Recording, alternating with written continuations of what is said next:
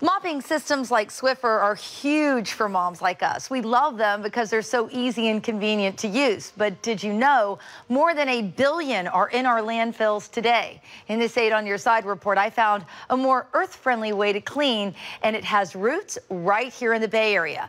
Palm Harbor Pamela will have more on the story now.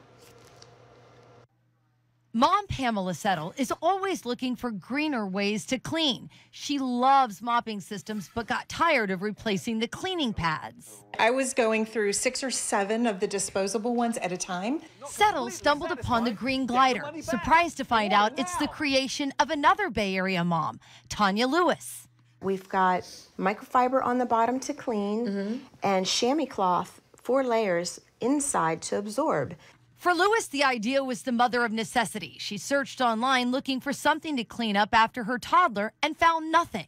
But what I did find was this massive market of people looking for the same thing I was. And now, patented Green Glider caught the eye of major shopping channels like QVC and HSN.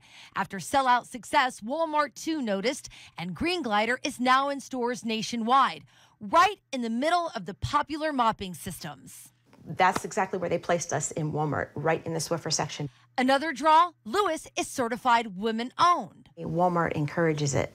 Now, Lewis is in talks with reps for Target, Lowe's, Costco, and other major retailers that sell mopping systems.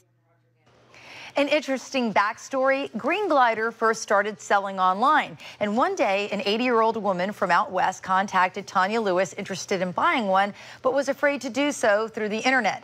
In a random act of kindness, Lewis sent the woman one for free. Well, that elderly woman's son ended up being a rep for Walmart that got Lewis a foot in the door.